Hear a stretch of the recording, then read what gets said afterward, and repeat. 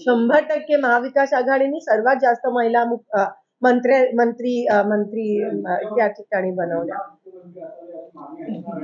मी म्हणाली ज्या दिवशी महिले महिलांकडे नगरविकास खातं येईल रेव्हेन्यू येईल एक्साईज येईल फायनान्स येईल किंवा मुख्यमंत्री पद येईल तो खरा पुरोगामी महाराष्ट्र ठरेल. आणि आज महिला बालकल्याण पण महिलेकडे नाहीये. ही शोकांतिका आहे. हा? काँग्रेस मुख्यमंत्रीचा उमेदवार हा कुठे असतो ना? मुख्यमंत्री नंतर ठरवला जात असतो.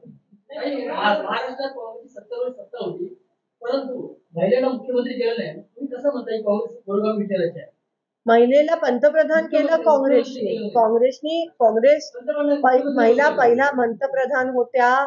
पहिल्या राष्ट्रपती महाराष्ट्रातल्या काँग्रेसमध्ये दिल्लीची दिल्लीची ही तख्त राखतो. नाही येऊ शकेल ना जेव्हा कोणी चांगलं कॅन्डिडेट किंवा चांगले एम एल ए पुढे येतील तेव्हा शंभर टक्के काँग्रेसच महाराष्ट्राला पहिला मुख्यमंत्री देतील ह्याबद्दल माझ्या मनात शंका नाही.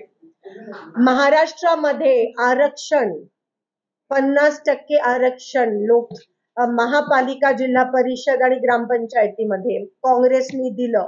त्यामुळे आज महिला महापौर सगळीकडे आपल्याला दिसतायत. महिला पन्नास टक्के महिला इतर पक्षाच्या पण काँग्रेसमुळे दिसतात आपल्या सगळ्या लोकल सेल्फ गव्हर्नमेंटमध्ये जिल्हा परिषद आणि ह्याच्यामध्ये महापालिका आणि ग्रामपंचायतमध्ये.